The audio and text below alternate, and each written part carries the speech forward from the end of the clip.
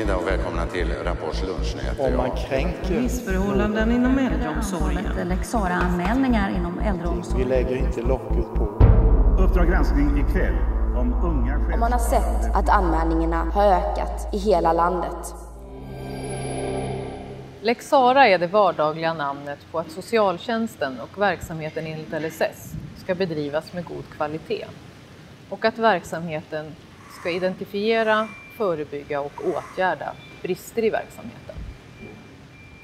Av Lex Sara framgår att personalen har en rapporteringsskyldighet när de upptäcker missförhållanden och att den som bedriver verksamheten ska utreda, åtgärda och avhjälpa alla missförhållanden och risker för missförhållanden som uppkommer i verksamheten.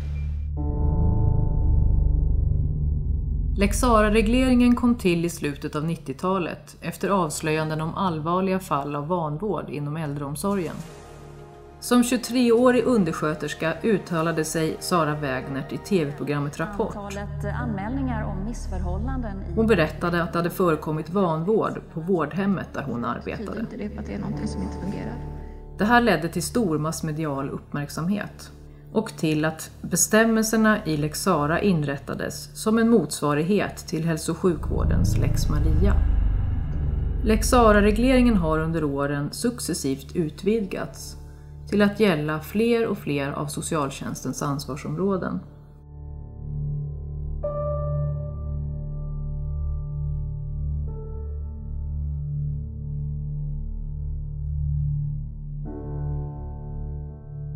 Sedan 2011 gäller Lex Sara socialtjänstens alla ansvarsområden. Det gäller barn och unga, vuxna, äldre och funktionsnedsatta. Lex Sara gäller myndighetsutövning såväl som utförd vård och omsorg. Det gäller både kommunal, statlig och privat regi.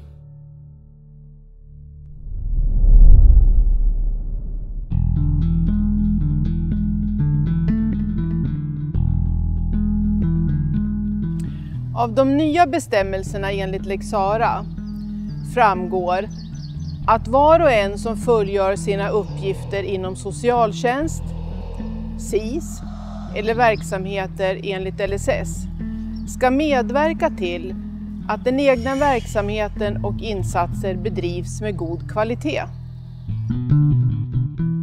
Det innebär att alla som fullgör uppgifter inom dessa verksamheter har ett eget ansvar för kvaliteten i verksamheten. Verksamheten är också skyldig att ha ett ledningssystem för systematiskt kvalitetsarbete. En del i ledningssystemet är det viktiga arbetet med att på ett systematiskt sätt arbeta med att förbättra kvaliteten i verksamheten. Detta ska bland annat göras genom att verksamheten tar emot, utreder och avhjälper olika former av avvikelser, såsom lex Sara men också klagomål och synpunkter. Syftet med lex bestämmelserna är att verksamheten ska utvecklas och att missförhållanden ska upptäckas och rättas till. Det handlar helt enkelt om att missförhållanden som en gång har uppstått i verksamheten inte ska uppstå igen. Det handlar om att skydda den enskilde från att utsättas för ett missförhållande om han eller hon är föremål för utredning eller insatser i någon av våra verksamheter. Kort sammanfattat betyder det att våra insatser som vi ger ska vara av god kvalitet.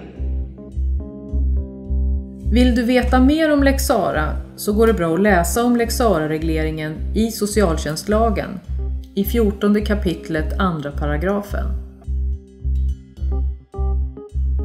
Du kan också läsa om lex Sara i lag om stöd och service till vissa funktionshindrade i paragraf 24a.